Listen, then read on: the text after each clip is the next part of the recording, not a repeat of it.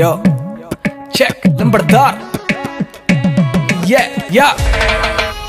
बणकायम दूत छोरी खाच लेगी प्राण शहर की छोरी ले ला राम राम दोस्तों आउट कर दिया गया है विद्युत जामवाल की अपकमिंग फ़िल्म क्रैक जीतेगा तो जिएगा का थर्ड सॉन्ग जी हाँ फ़िल्म क्रैक के थर्ड सॉन्ग की हुई ऑफिशियल अनाउंसमेंट जानिए कब किया जाएगा इस सॉन्ग को रिलीज़ किसने लिखे हैं इसके लिरिक्स किसने दिया है इस सॉन्ग में आवाज़ और किसने दिया है इस सॉन्ग में म्यूज़िक जानिए पूरी अपडेट इस वीडियो में तो वीडियो के एंड तक बने रहे और चैनल पे पहली बार है तो चैनल को लाइक और सब्सक्राइब करना ना भूले। जी हाँ दोस्तों विद्युत जामवाल और नूरा फतेही की अपकमिंग फ़िल्म क्रैक जीतेगा तो जिएगा। थर्ड सॉन्ग का टीजर कर दिया गया है रिलीज़ जिसका टाइटल रखा गया है रोम रोम। जी हाँ दोस्तों आदित्य दत्त द्वारा निर्देशित। निर्माताओं ने अभी हाल ही में फ़िल्म का टीजर रिलीज़ किया और है। इस टीजर को दर्शकों की तरफ़ से काफ़ी अच्छी प्रतिक्रिया भी मिली है। बता दें दोस्तों कि इस फ़िल्म में अर्जुन रामपाल और एमी जैक्सन भी लीड रोल में देखने को मिलेंगे। बात करें इस फ़िल्म के बारे में तो दोस्तों क्रैक एक सर्वाइकल थ्रिलर फ़िल्म होने वाली है। दोस्तों फ़िल्म को डायरेक्ट आदित्य दत्त ने किया है जिन्होंने आशिक बनाया आपने और टेबल नंबर 21 जैसी फ़िल्मों को अपनी बेहतरीन डायरेक्शन दिया खैर बात करें इस सॉन्ग के बारे में। तो दोस्तों फ़िल्म क्रैक के